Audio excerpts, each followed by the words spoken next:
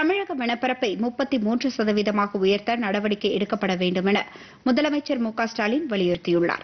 சுற்றுச்சூழல் காலநிலை மாற்றம் மற்றும் வனத்துறைகளின் செயல்பாடு குறித்த ஆய்வுக் கூட்டத்தில் பேசிய முதலமைச்சர் சுற்றுச்சூழல் மேம்பாட்டு நடவடிக்கைகளில் இளைஞர்கள் பொதுமக்கள் பங்கேற்பை அதிகரிக்க செய்யுமாறு கேட்டுக் கொண்டார் மரம் நடுதல் திட்டத்தை தீவிரப்படுத்தி வனப்பரப்பை அதிகரிப்பதுடன் மனிதர்கள் விலங்குகளுக்கு இடையேயான மோதலை கட்டுப்படுத்துவதற்கான வழிமுறைகளை மேற்கொள்ளுமாறும் அதிகாரிகளை அறிவுறுத்தினார்.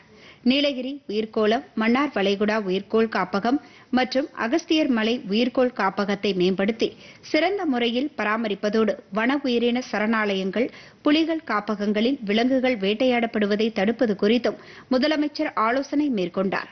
மாநிலத்தில் உள்ள பறவைகள் சரணாலயம் புலிகள் சரணாலயம் மற்றும் உயிரியல் பூங்காக்களில் தற்போதுள்ள கட்டமைப்பு வசதிகளை மேம்படுத்துமாறும் அவர் கேட்டுக்கொண்டார்.